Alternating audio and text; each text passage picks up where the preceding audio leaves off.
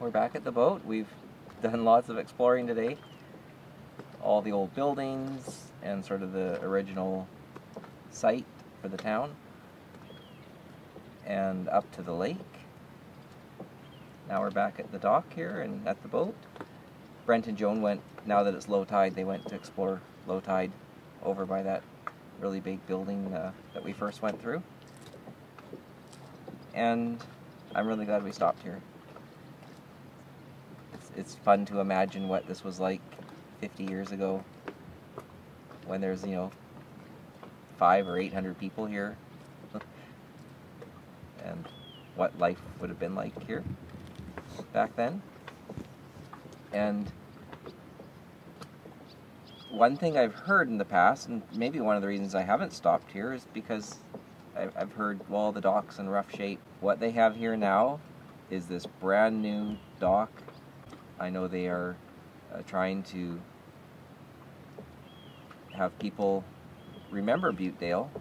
We had to sign some waivers just because it is private property, and if you got hurt on the property. You know, they don't want to be responsible, but they still encourage people to come and see uh, Butedale.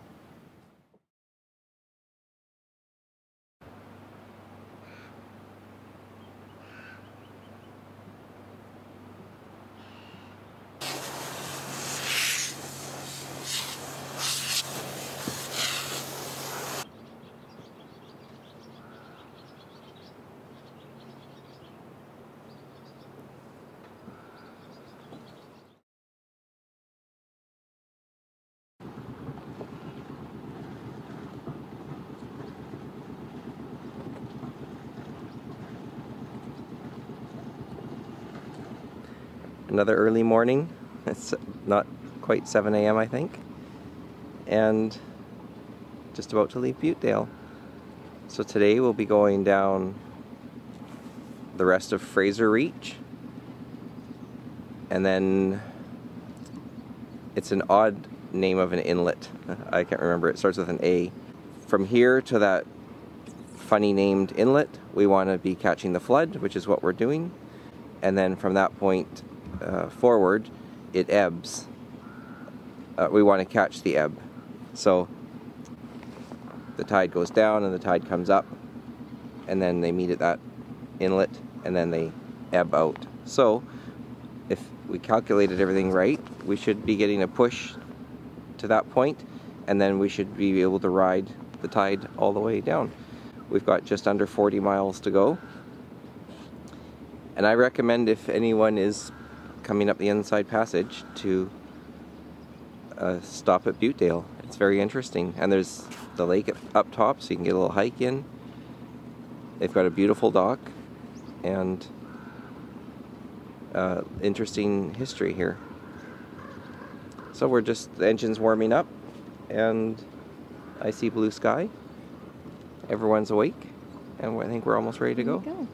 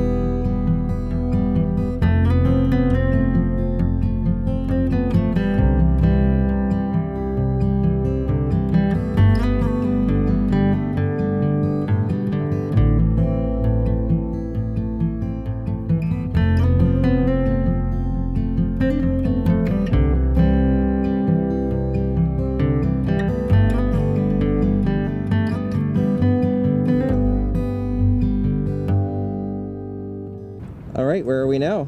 All right, we made it to Swanson Bay, and you can see the smokestack behind me, that is, and the pilings. All that remains of the first pulp mill on the BC coast, which started in 1909. Uh, it's been completely taken over by the forest. And what's kind of cool about Swanson Bay is that it's named after Captain James Swanson, John Swanson, John Swanson, who was a Hudson Bay Company mariner And he was born up in probably Moose, in Rupert's Land at the time in the 1800s in Moose Cree or Moose Factory, uh, which is on James Bay. And he was named um, by his dad, William Swanson. And William Swanson also worked for the Hudson Bay Company, and according to their records, had three wives and 20 children. So John was one of 20. He had 19 siblings, so he made his way west, started working for Hudson Bay, and took ships up and down the coast. So Swanson Bay is named after him, and again, the first pulp mill in BC. So fun to see this. So fun to see this. And as you said, his famous fertile father um, birthed a son who this bay is named after.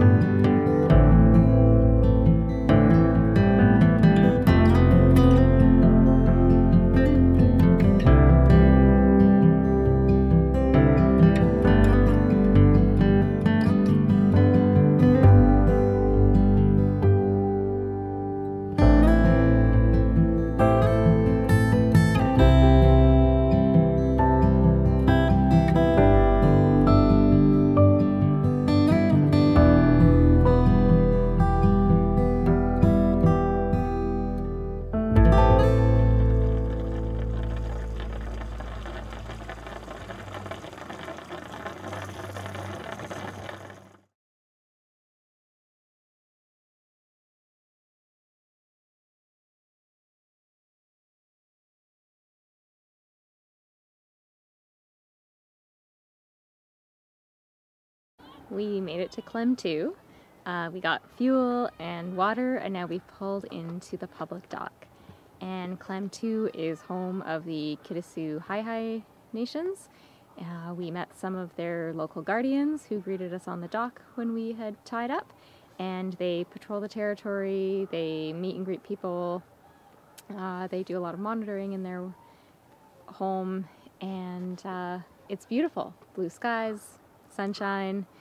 I've never stopped here before except on the ferry. Alfie's been a few times, but not too recently. Uh, and so we're going to go and explore. And what else did we see under the boat a few minutes oh, ago? Oh, uh, after we tied up and we're just getting our stuff ready to go, Alfie called and he all these fish swimming right underneath the boat. So just little ones, but hundreds of them. It's really cool. And it's getting really sunny. It's getting very sunny. Yep, there's uh, some some fish boats and some dive boats tied up here. Uh, I think I better get my sunglasses. Well, let's go check things out. Okay.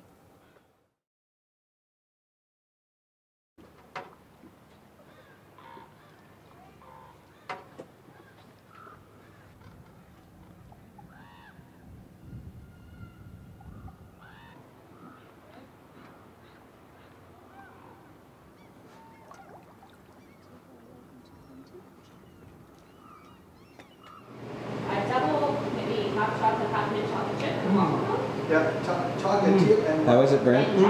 I'm Todd. Okay. Excellent. Best chocolate chip ice cream ever. and that's in uh, Clemson.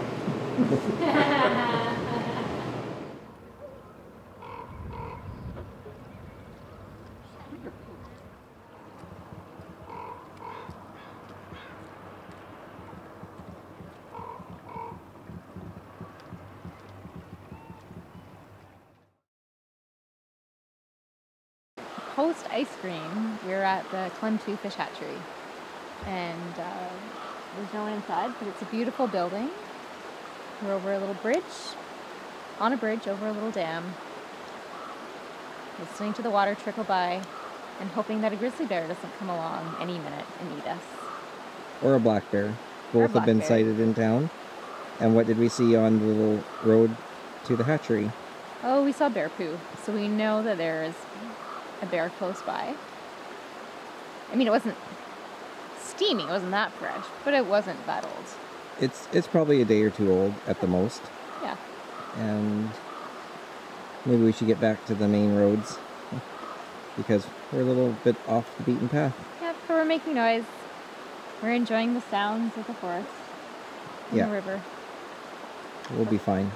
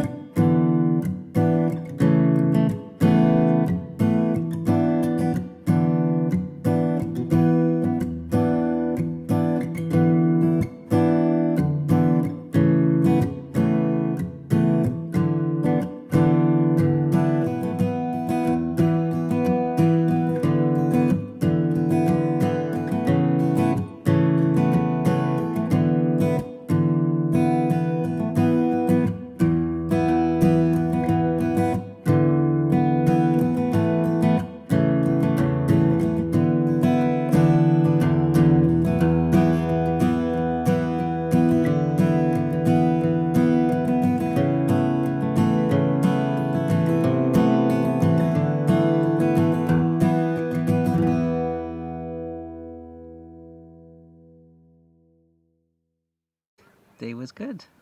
We left Butedale early this morning, rode the tide until that inlet starts with an A and Talash or something inlet.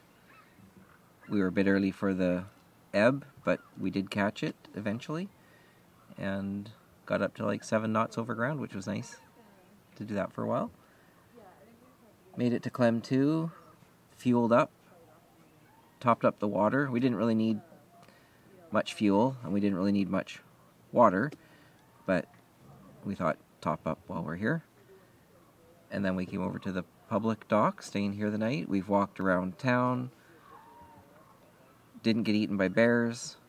We've had a wonderful dinner, uh, red Thai curry sauce with shrimp and rice that Devlin prepared. Thank you so much.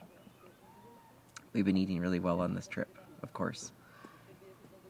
And then after dinner, we oh we were watching during dinner, and there's ravens and crows and an eagle right on this derelict uh, gillnet boat next to us.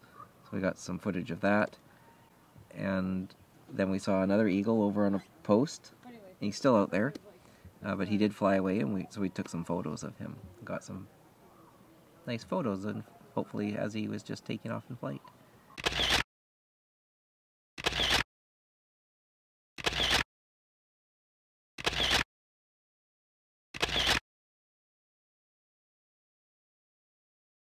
And that's it, the end of the day. The sun just went down behind the mountain.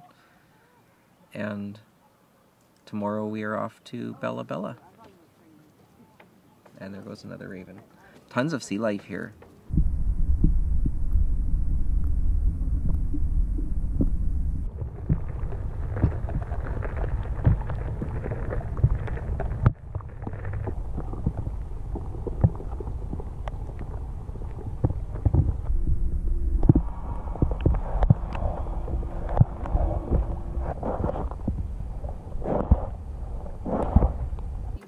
all sorts of things, and and wildlife, uh, tons of eagles. But uh, yeah, the sun just went down and the wind just picked up, so I think we're gonna go in and have an early night. Another day tomorrow. Tomorrow will be about 35 to 40 miles.